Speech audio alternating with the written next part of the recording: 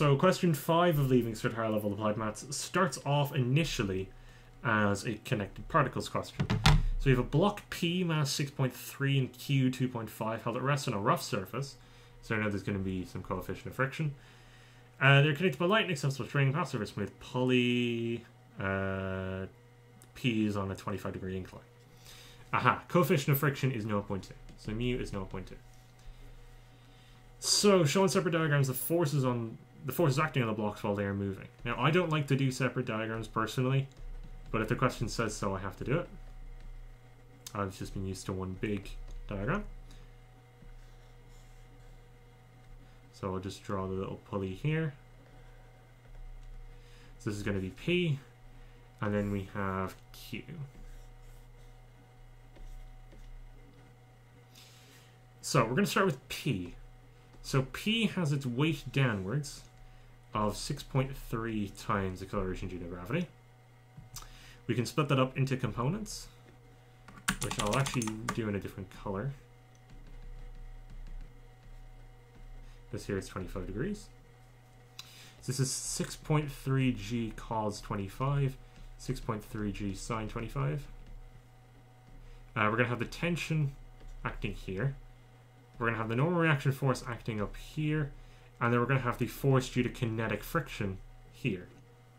And I'll actually call this RP and FKP just because the reaction force at P is going to be different to the reaction force at Q.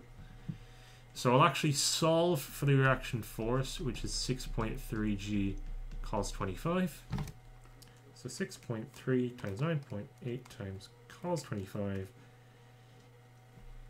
is 55.955 newtons. So that means that we're given that mu is 0.2, so Fk is uh, 0.2 times 55.955 55.955, which is 27.978 to the same degree of accuracy. Uh, and then, of course, it's going to be accelerating down this way with just a common acceleration because there's one string and one pulley, or a shared pulley. Now, Q is going to be accelerating this way. It has a mass of 2.5, so 2.5 g. We'll have the tension going this way, and it will have the friction uh, going this way, so that'd be FKQ. And this force would be RQ, so the reaction force at Q. Now, the reaction force at Q is just 2.5 g, which is 24.5. So FKQ, sure this is FKP, so FKQ is 0 0.2 times 24.5.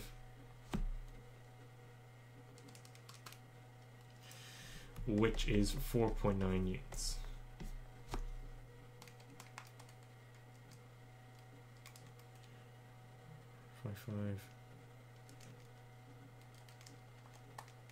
Because I screwed this up before.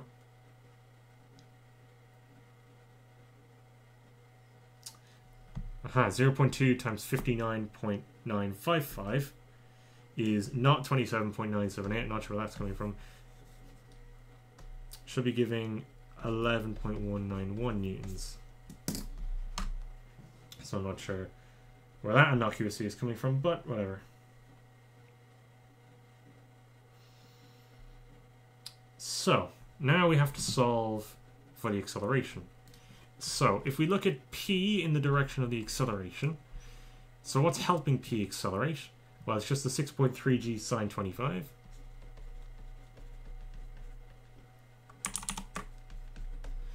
And what's not helping it is the friction and the tension. So the tension we don't know.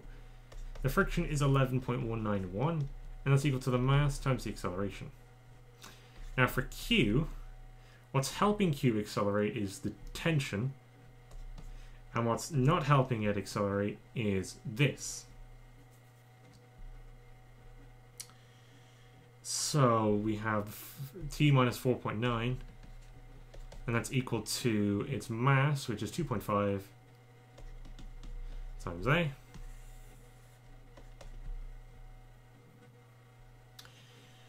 So, uh, if we add the equations, uh, the tensions will cancel. And then we get this is 8.8a. And I'll just approximate this 6.3 times 9.8 times sine 25. Minus 4.9 minus 11.191. It just gives us up an answer of 10. So A is 10 divided by 8.8, which is about 1.136 meters per second squared. Okay, the second part is a rather complex looking uh, linear motion question. So Anya travels by car from her house to work each morning. On Monday morning, she starts her car, so it's uniformly for 40 seconds to a speed of 22 and a half meters per second. Okay, so I'm going to draw a velocity time graph. This, so I'll label this as Monday time velocity. So she accelerates to 22 and a half meters per second in 40 seconds. This is 22 and a half in 40 seconds. I'll actually kind of lower this t because I there's going to be more values later. Uh, she travels at speed for 8 minutes until she uniformly decelerates. That'll work. Now 8 minutes, so 8 times 60 would be 480 seconds. And now her time to decelerate, I'll just label as T1. This is for Monday. now Tuesday, uh, she leaves her house 140 seconds later than the day before. So I'm actually going to do a little bit of labeling. I'll just label this as Monday. Let's let the total time taken for her to travel to work be 40 plus 480 plus T1. So the time overall is T1 plus 520. Now, for Tuesday, Uh, Lisa has 140 seconds later, and she takes the same route. She accelerates at 1.5 meters per second for 20 seconds. She's going to reach a speed of v in 20 seconds. Maintains the speed for 6 minutes. Now, 6 times 60 is 360. And then decelerates G2.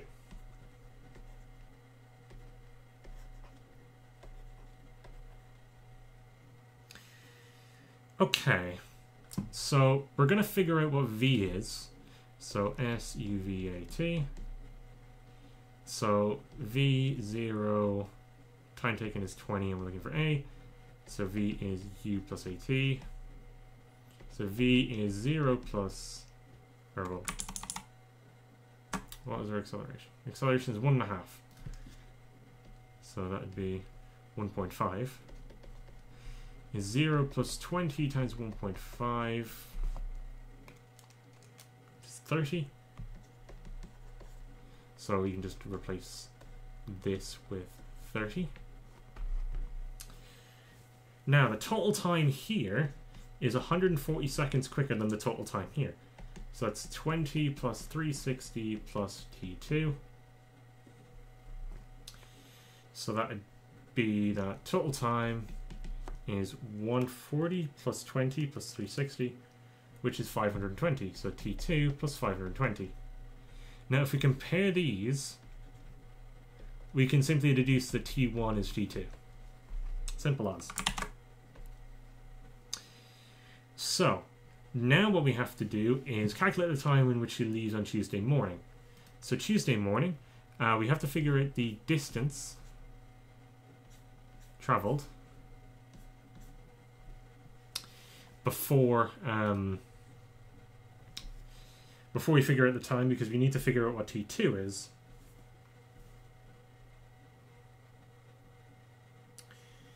So, what we can do is we can actually compare uh, these two areas because these two areas are going to be the same.